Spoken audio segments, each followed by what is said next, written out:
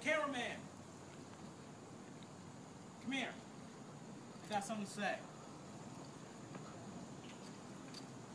Hello, everyone. My name is James Edward Wyche IV, your next freshman class president. And I know my opponents, they seem like people that have been presidents, vice presidents, secretaries, treasurers for their high school for their high schools back home. But me, I'm totally different. All four years I was at my school, I ran for president, and every time I lost. But fortunately, the, people, the person who I lost to all the time was my best friend, and we're still best friends to this day. But these people that are running, I don't think really qualify what a president here at Goucher should be like. Because you see, I'm an underdog. And people love underdogs. And I feel like I've been an underdog my entire life. Yeah, I'll give you some examples.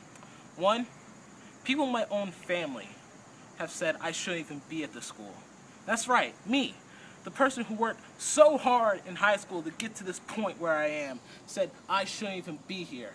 Well, as you can see behind me, I'm here, and I proved them wrong. Second, I've also been underdog because of the things that have happened in my family. Because you see, I'm straight edge, my friends.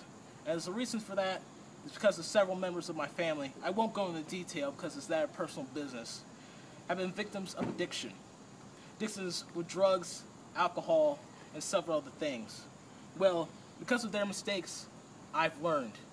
I've learned for the rest of my life, I swear, as God is my witness, I will never take a sip of alcohol, do a thing, do any drugs, any type of drugs, or smoke a cigarette. And I feel like that will make my life way more, way more easier than going through all the things they had to go through, being with their addiction. So with me being the underdog, I see my opponents as the 1%. And, I, and you should see me as the 99%. I am the person, I am the underdog that everyone roots for. I was the guy who gave great ideas for my class, and they never really listened to me that very much. I was always seen as a joke somewhat because of, of my physique and everything. But for you people here at Goucher College, especially the freshmen, if you've ever been a misfit, if you've ever been that underdog, the person who, who nobody listened to you, whatever great ideas you thought of, then I'm your man. I'm your man. Because this this right here is proof that I went to the Boys Latin School in Maryland and I graduated there. And those people there are my brothers. They always will be, and I miss those guys every single day. Now, I'm here at a new school, meet new people from all over the world, from different states in this great country. And I see you guys as my new brothers slash sisters. So, vote for James Wyche if you want an underdog to represent you. Thank you very much.